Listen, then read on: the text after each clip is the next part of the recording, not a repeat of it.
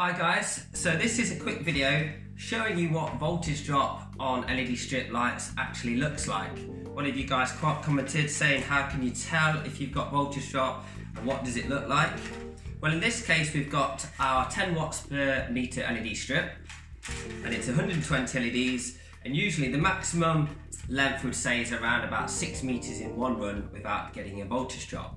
So voltage drop is light loss effectively towards the end of the strip. So the LED strip has the power coming in from the power supply.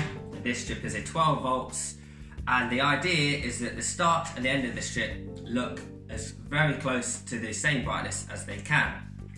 Now with the tracks that are in the LED strip, you can go up to around 6 meters and you'll probably only have around about a 2% light loss at the end of a 6 meter run.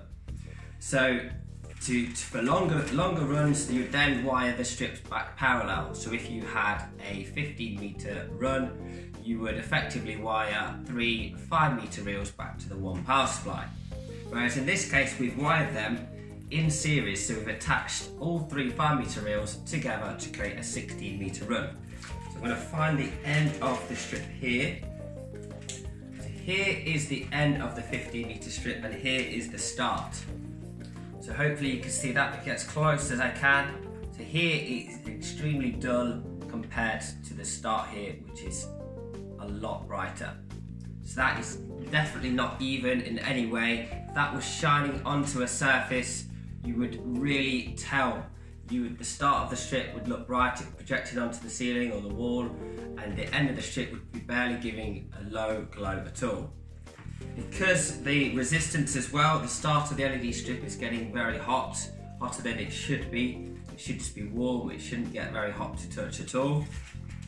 And this LED strip, you can actually see the voltage drop occurring for, quite because it's not just the very end, it's probably five or eight meters or even more, nine meters within the strip. So all of this LED strip towards the end is very dull compared to start of the strip, which is a lot brighter.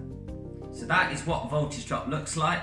So if the LED lights do not look even, they look duller towards the end of the strip, then voltage drop is occurring.